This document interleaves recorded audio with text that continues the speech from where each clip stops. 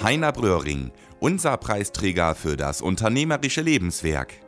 Die Unternehmensgeschichte fing 1891 an. Mein Großvater hat den Beginn der Firma gleichgesetzt mit seinem Hochzeitsdatum. Röhring ist ein absolut bodenständig geprägtes Familienunternehmen. Und die Bodenständigkeit und das Sein als Familienunternehmen ist seine Vision. Heute kann ich sagen, dass es uns gelungen ist, letztlich auch in der vierten Generation das Unternehmen weiterzuführen durch meine beiden Söhne, die vor wenigen Jahren ebenfalls in das Unternehmen eingetreten sind.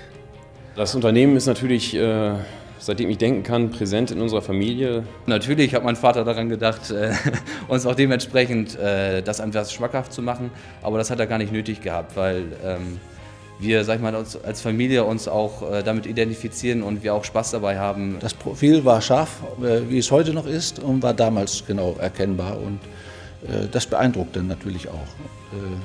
Wie es damals war und heute auch noch ist, muss man ganz klar sagen, dass er überzeugen kann und nicht nur mit Argumenten alleine, sondern auch mit Wärme oder mit Nähe zu den Menschen, seinen Mitarbeitern überzeugen kann. Die Bröhring-Gruppe ist heute mit seinen Standorten strategisch bestens aufgestellt. Der Warenfluss erfolgt über alle verfügbaren Transportwege unserer Region. Das Wachstum des Unternehmens hängt letztlich davon ab, welche Möglichkeiten und Chancen die Entwicklung in der Landwirtschaft uns als Dienstleister und Zulieferer bietet.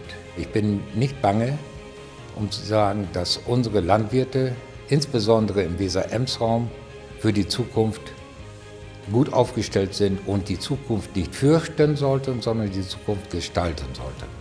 Zwar ist unser Vater nicht mehr in der Geschäftsführung tätig, aber seine beratenden, eigentlich beratenden Funktionen gehen häufig doch auch in operative über, sodass wir doch äh, seinen Einfluss häufiger noch im Unternehmen spüren und das ist auch gut so. Ich denke, da spreche ich auch für meinen Bruder, dass wir froh sind, wenn wir ihn auch nochmal fragen können und er äh, seinen Senf auf Deutsch gesagt dazu gibt. Eine Erfolgsgeschichte mit langer Tradition. Die Weichen für die Zukunft sind gestellt. Herzlichen Glückwunsch, Heiner Bröhring.